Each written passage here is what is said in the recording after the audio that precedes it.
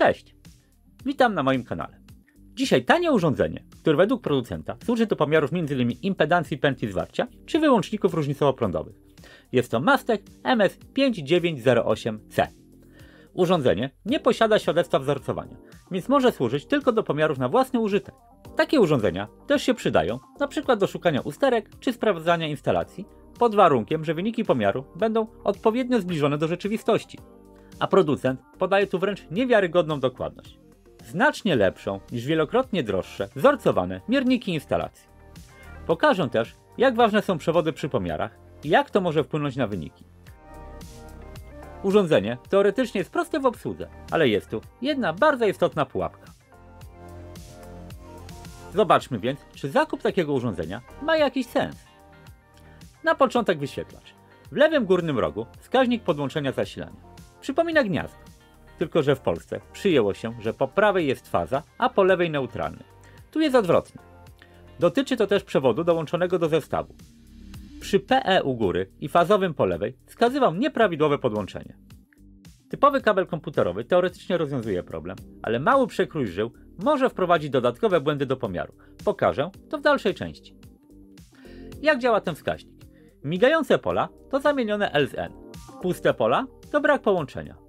Pełne pola to prawidłowe połączenie. Z przycisków mamy tu włącznik, wybór funkcji, zatrzymanie wyniku, podświetlanie, a po lewej klawisze wyboru i przycisk test. Przejdźmy więc do funkcji. Pierwsza to pomiar napięcia i częstotliwości. Obie wartości pojawiają się na wyświetlaczu jednocześnie. Przycisk test nie jest tu potrzebny. Klawiszami wyboru możemy przełączać się pomiędzy pomiarami napięcia. Pomiędzy fazą a neutralnym, czyli LN, pomiędzy neutralnym a ochronnym, czyli NE, to może być bardzo przydatne, ale o tym w dalszej części. I napięcie odczytowe PIK. A jak z dokładnością? Ten przyrząd pokazuje 240,6 V, a miernik instalacji 240-241 V. To wynik bardzo bliski. Następna funkcja to spadki napięcia. Możemy wybierać pomiędzy obciążeniami 5, 8 i 10 A. Wystarczy raz wykonać test, a wyniki pojawią się dla wszystkich zakresów. Nie mam z czym porównać wyników, więc może kilka słów o przydatności. Sam sposób pomiaru przypomina pomiar IPZ, o którym będzie za chwilę, więc i dokładność pewnie będzie podobna. Testowanie najlepiej zacząć od najdalszego gniazda obwodu. Jeśli spadek jest duży, sprawdzać kolejne gniazda w tym obwodzie w stronę rozdzielnicy. Znaczna różnica pomiędzy kolejnymi gniazdami może wskazywać na problem w obrębie tych gniazd i warto tu sprawdzić połączenia i przewody. Kolejna funkcja to pomiar wartości impedancji pętli zwarcia. I tu mamy nietypowy sposób, który może wprowadzić w duży błąd. Zazwyczaj mierzymy IPZ pomiędzy fazą a neutralnym czy fazą a ochronną. Tu mamy osobno IPZ dla L, N i PE. Po naciśnięciu przycisku test, po chwili, mamy wyniki od razu dla L i N. Urządzenie wskazało 87 setnych i 53 setnych ohma. Sprawdźmy, co pokaże miernik instalacji.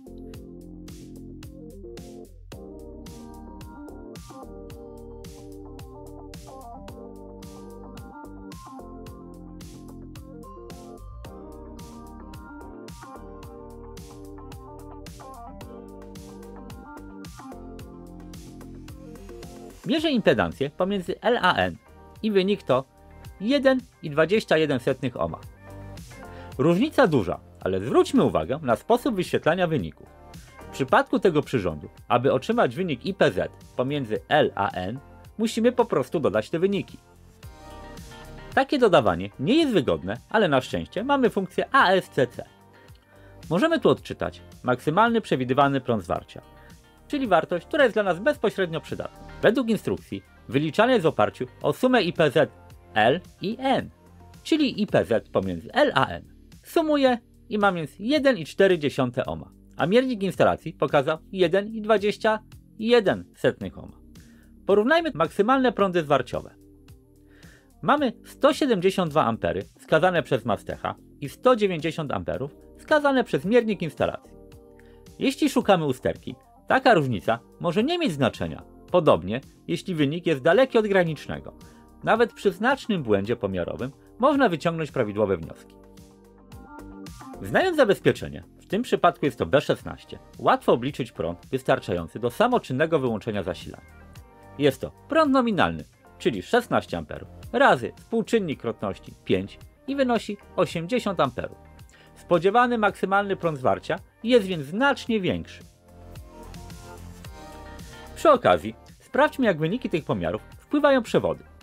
Do tej pory korzystałem z oryginalnych przewodów oraz, dla wygody, z gniazda, w którym mogłem obracać wtyczkę. Oryginalny przewód wprowadza w błąd. W Polsce, zwyczajowo, ponieważ nie jest to obowiązek, przy bolcu u góry, przewód fazowy powinien być z lewej. Na oryginalnym przewodzie sygnalizowane jest to jako odwrotne połączenie. Migają kontrolki L i N. Pasuje jednak typowy przewód od komputera, ale ma on mniejsze przekroje żył. Teraz zobaczcie wyniki. Pomiar spadku napięcia na oryginalnym przewodzie i na komputerowym. 2,8% oraz 3,1%. Różnica jest duża, około 10%, szczególnie biorąc pod uwagę, że to bardzo krótki przewód. Próbuję sprawdzić to samo przy pomiarze IPZ, ale miernik sygnalizuje przegrzanie. Mniej więcej w tym momencie ten przyrząd nie tylko się przegrzał, co już miało miejsce wielokrotnie i po stygnięciu działał prawidłowo, ale też ulega awarii. Po wystudzeniu robi zwarcie od razu po podłączeniu przewodu. Dalsza część filmu powstała już po naprawie, a samej naprawy i przy okazji trochę budowy tego urządzenia będzie osobny film. Witam ponownie. Miernik naprawiony. Za chwilę przejdziemy do pomiarów RCD, ale wróćmy jeszcze na chwilę do pomiarów impedancji pętli zwarcia. Pominięty wcześniej pomiar PE. W międzyczasie przygotowałem specjalnie na potrzeby filmu gniazdo z pominiętym RCD. Wykonałem pomiary IPZ, PE i L. Zobaczcie wyniki. L 1,36 ohma, N 700 ohma, PE 19 ohma, a prąd zwarciowy 168 A. Teraz miernik instalacji.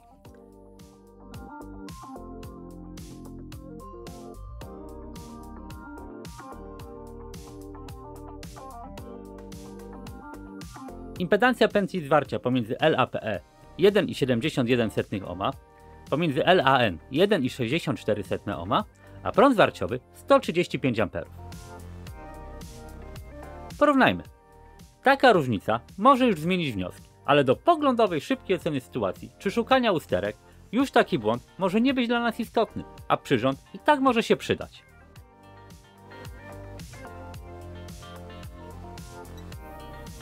Przejdźmy do pomiaru RCD. Klikam na test i mam wyniki. Czas i prąd zadziałania. Prawie 32 mA i 26 milisekund. Gdybyśmy chcieli na tej podstawie oceniać RCD, prąd zadziałania byłby za duży. Nie powinien prąd przekraczać 30 mA. Nie ma tu niestety więcej opcji, ale to i tak trochę więcej niż informacja z użycia przycisku test wbudowanego w RCD. Sprawdzę więc miernikiem instalacji. W trybie pomiaru prądu zadziałania wskazał 24 mA, czyli prawidłowo, a mastek pokazywał, że prąd jest za duży. Zobaczmy jeszcze pomiar automatyczny. Parametry wskazują, że RCD jest sprawny.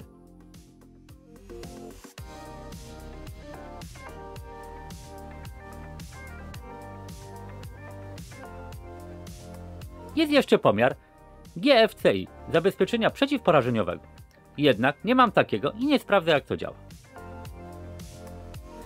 Wcześniej wspomniałem, że napięcie pomiędzy neutralnym a ochronnym, albo różnica wartości impedancji pętli zwarcia LN i LPE mogą być przydatne. W sieciach TNCS, gdzie mamy punkt podziału PEN i od tego punktu mamy takie same czy bardzo podobne połączenia i przewody, impedancja pętli zwarcia pomiędzy LAN i LAPE powinny być bardzo zbliżone. Jeśli będzie znaczna różnica, warto sprawdzić dlaczego. To może być np. słaby styk, poluzowane złącze itp. To urządzenie może być przydatne do sprawdzenia instalacji czy lokalizacji usterek, wstępnych pomiarów na własny użytek, ale w żaden sposób nie zastępuje prawdziwych pomiarów elektrycznych. Ma swoje wady, czy nietypowe rozwiązania, na które trzeba zwrócić uwagę, aby nie popełnić znacznego błędu. I jak się okazuje, nie jest bezawaryjne. Zapraszam do komentowania i subskrybowania kanału. A ja już dziękuję za uwagę i do zobaczenia.